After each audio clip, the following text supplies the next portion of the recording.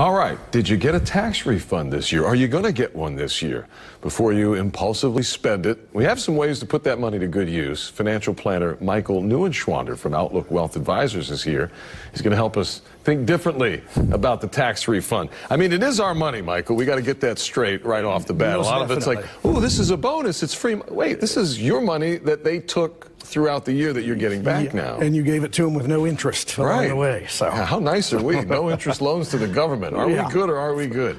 Okay, uh, Michael, thanks for being here today. We've got four things we're going to go over on ways to use uh, this tax refund, assuming you're like the average person who's getting the average refund, which is about $3,000. about three thousand. Okay, so let's go through some of these uh, ways to improve our finances with our own money because we're getting the loan back from the government. First one you say is to pay off high interest debt. Why is that so important? Yeah, well, like you said, I mean, there's no shortage of people want or places wanting you to spend the money, but average credit card rate, because interest rates are so high, is around 20%. So before you just go spend the money, you know, the reality is if you've got debt, you know, credit card, whether it's a still a student loan or even an automobile at 8, 9, 10%, You'll do yourself a huge favor to knock that out first, and frankly, you'll get yourself more money in the long run when you don't have that giant monthly payment at 20%, you know, stacking up against you. It's crazy how much the, the interest payments will really come out of our cash flow. You know, right? no, that's uh, when we look at the big picture. I mean, that's one of the things we're telling our clients when we say, "How's the economy doing?" or "Where's it going to go?" Well, if people don't have money to spend, that doesn't bode real well for for the future economy picture there either. So, paying off that debt's a big one. So we can really get ahead of some loans if, we're, if we make wise use of our tax return. Uh, your next suggestion, uh, let's pretend now we've got the high interest debt paid down or paid off.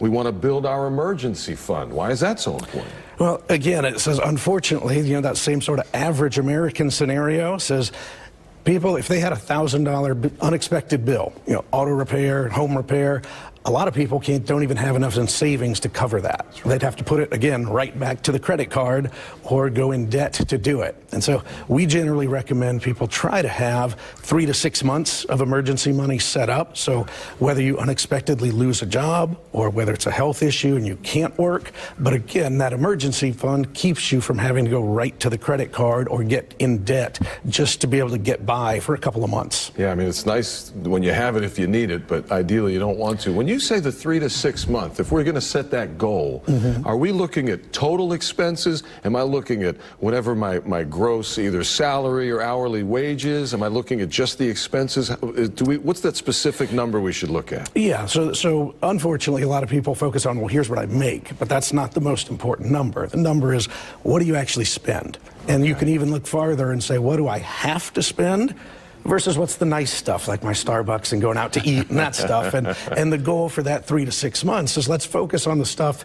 If you were really in a bind, what is it you have to pay? Yeah, if you lost your job Yep. or if some medical issue came up, right? And, and even farther, I mean, some people are a little different, meaning we work with people that are retired, but also people that aren't retired, sort of planning for it. Yeah. Well, if, if your income is coming from a pension, coming from Social Security, areas where you really don't have to worry about that money stopping, then you can probably get by with a little less of an emergency fund.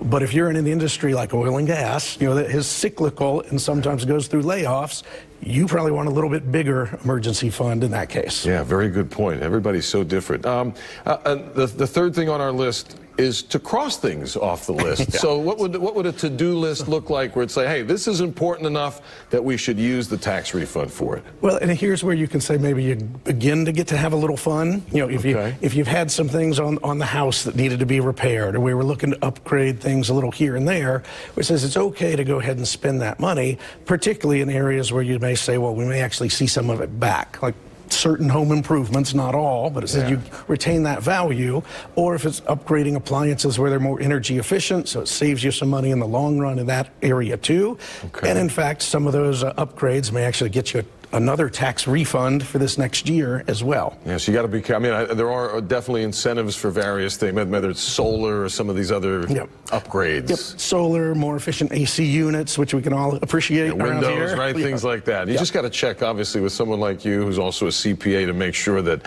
what we're spending the money on, we will get some of Yeah. it back, if that's the intention. Correct. Because sometimes we just want new blinds Yeah, or whatever and- the and heck that it is. doesn't count. All right, let's go to number four here. We've paid off some debt. Hopefully, we're building a fund now. Maybe we've made some home improvements we want. Planning for the future.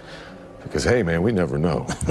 Well, here's where things can actually get exciting, or at least from a CPA and, and, and a financial advisor, exciting. So, uh, as we kind of touched on, I mean, that money is your money to begin with. You know, you just gave it to the government, now they're giving it back to you. If you're consistently getting refunds, you may turn around and look and say, let me drop my withholding in the first place so I actually get that money every month instead of giving it to the, to the government. And if you're in the ability, let me actually put some of that into my 401k. I can bump that up for future mm-hmm. savings. Or you can do what's called a Roth IRA, which is which is actually really nice, where it's you put the money in and it's tax free for the rest of your life. So here's a quick little lesson: if somebody's getting, let's say they're getting 1,200 bucks back, rather than just spending that 1,200 bucks, they could use that money to move $10,000 with no extra taxes from their IRA to a Roth. And now that 10,000 grows tax-free for the rest of their life, their spouse's life, and under current tax law at least, 10 years for the kids too. No kidding. So- and, and the key point is current tax law. Things are always changing, Yeah. so folks need to check in with their CPA uh, along the way to make sure they're still making the right decisions. Yeah, because we know the current law we're all benefiting from right now expires in two years. So again, this is an opportunity for a lot of people. If you're thinking and planning ahead, there's some pretty smart financial and tax moves you should be getting with your advisor you know, on certainly over the next couple of years here. It's the time to do it. All right, Michael Neuenschwander, certified financial planner with Outlook Wealth Advisors. Good to see you again, Michael. Thanks Thank for coming you. in today. You too. Really appreciate it.